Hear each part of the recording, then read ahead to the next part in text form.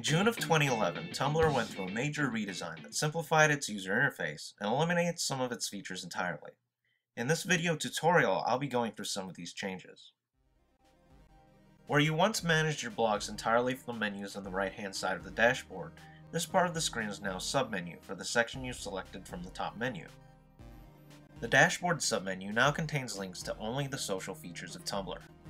Here you can edit who you follow and see which posts you've liked.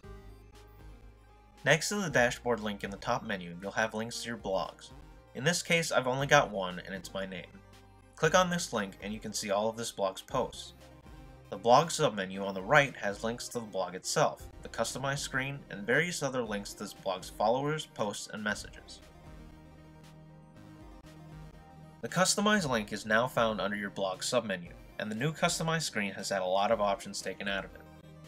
You can still change your blog's name, theme, and add pages here, but Tumblr has completely removed all Twitter and RSS feed imports. According to an email I received from Tumblr support, they're looking at maybe adding Twitter importation back in, but I wouldn't hold my breath. A lot of people have been asking where you can change your profile photo, now that the option is no longer in Customize. You'll find that option here in Settings in your blog submenu. Keep in mind that this is a different settings button from the one at the top. That one is just for your account settings. Blog settings screen contains nearly all of the options that were taken out of Customize. In addition to your profile picture, there's settings for replies, questions, submissions, and sending your Tumblr post out to Facebook and Twitter.